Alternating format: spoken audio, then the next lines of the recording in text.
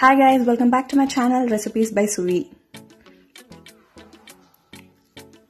இன்னைக்கு நம்ம பார்க்க போற ஒரு ஃபென்டாஸ்டிக்கான ரெசிபி ரொம்ப சிம்பிள் அண்ட் ரொம்ப டேஸ்டி எக் ஃப்ரை இந்த ரெசிபி எப்படி பண்றதுன்னு வாங்க பார்க்கலாம். ஃபர்ஸ்ட் நம்ம எக்கை வந்து பாயில் பண்ணி எடுத்து வச்சுக்கலாம். நான் இன்னைக்கு நாலு முட்டை எடுத்திருக்கேன். அதை வேக வைக்கிறதுக்கு தேவையான தண்ணி நம்ம ஆட் பண்ணிக்கலாம். நாலு கப்பு தண்ணி கரெக்டாக இருக்கும். தண்ணி லைட்டாக சூடானதுக்கப்புறம் நம்ம இதில் கால் டீஸ்பூன் உப்பு ஆட் பண்ணிக்கலாம். அடுத்து மூடி போட்டு ஏழுலேருந்து பத்து நிமிஷம் வரைக்கும் எக்கு நல்லா பாயில் பண்ணிக்கலாம். இப்போ ஒரு பத்து நிமிஷம் ஆயிடுச்சு எக்கு நல்லா வெந்துருச்சு இது ஓடு நீக்கி எடுத்து வச்சுக்கலாம். நெக்ஸ்ட் ஒரு பேனில் மூணு டேபிள் ஸ்பூன் ஆயில் ஆட் பண்ணிக்கலாம்.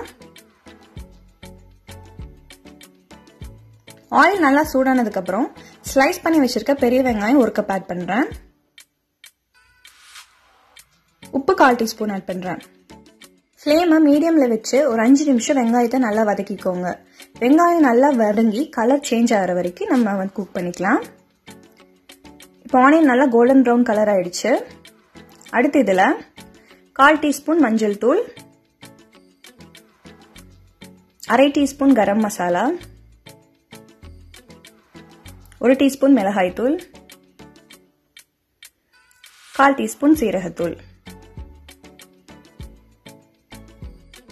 மசாலாவோட பச்சை வாசனை போற வரைக்கும் இதை நல்லா வதக்கிக்கலாம்.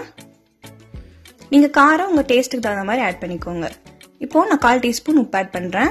ஆட் பண்ணி நல்லா கலந்து விட்டுக்கோங்க. ஃப்ளேமை லோல வச்சே கலந்து விட்டுக்கோங்க. நான் வேக வச்ச முட்டையை ஓடி நீக்கி எடுத்து வச்சிருக்கேன். இப்போ இதை நம்ம மசாலா கூட ஆட் பண்ணிக்கலாம். ஆட் பண்றதுக்கு முன்னாடி முட்டையை ஒரு கத்தி வச்சு கீறி விட்டுக்கோங்க. ரொம்ப டீப்பா கீரை வேணாம். லைட்டா கீருங்க அப்பதான் மசாலா உள்ள இறங்கும். நான் நாலு கட் பண்ணியிருக்கேன் இப்போ இதை நான் ஒன்று ஒன்று ஆட் பண்ணிக்கிறேன்.